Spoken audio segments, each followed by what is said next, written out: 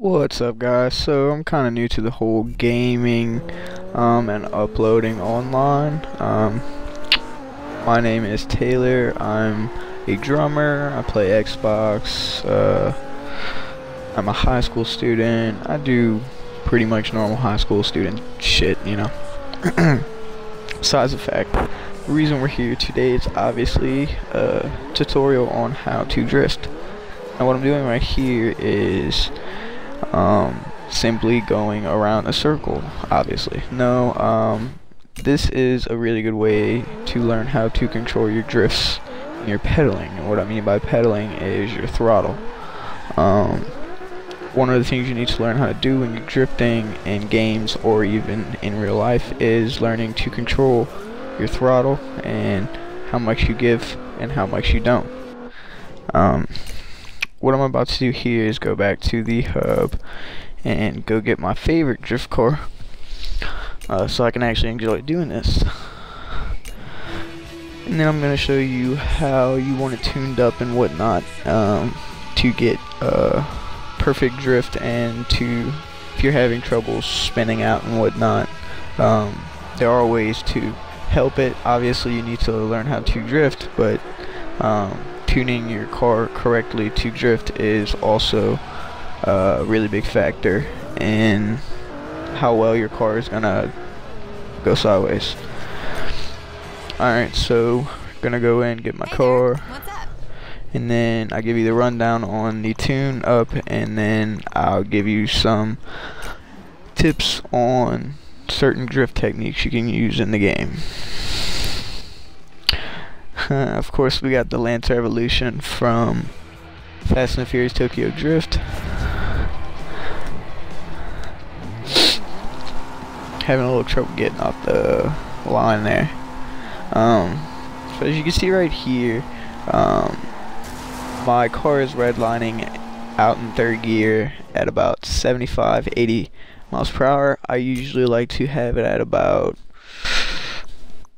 maxing out at about 95 miles per hour in third gear. Um, so I want to adjust the gearing down a little bit.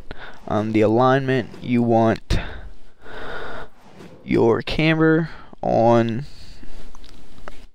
all the way for all tower tires. That's just my opinion.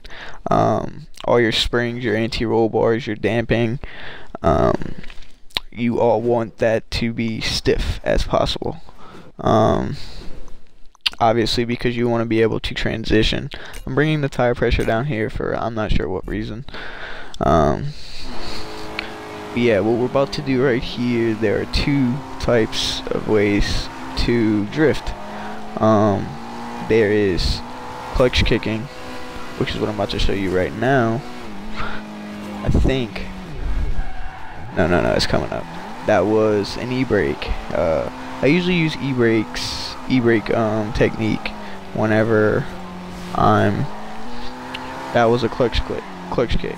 I usually use e-brake technique whenever I'm going into a turn really fast but I don't need to hit a drift very fast. Um, I use clutch kicks usually around big turns like this one which I honestly didn't do should have. Um, the reason being is because when you clutch kick, it usually increases your speed. When you um, e-brake, it usually decreases your speed, like right here.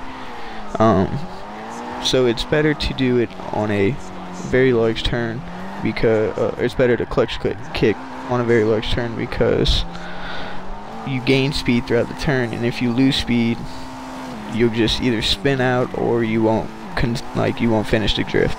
Like that was a clutch kick and if I would have done an e-brake I probably wouldn't have made the whole drift. Um, and this is an e-brake. See it wasn't as big so I did not need to clutch kick to maintain speed. Um, so that's all it is to drifting. Um, real life or in a game there's clutch kick drifting there's e-brake drifting. Um, you guys have any questions, there's a comment section below, obviously. Uh, thanks for watching, guys.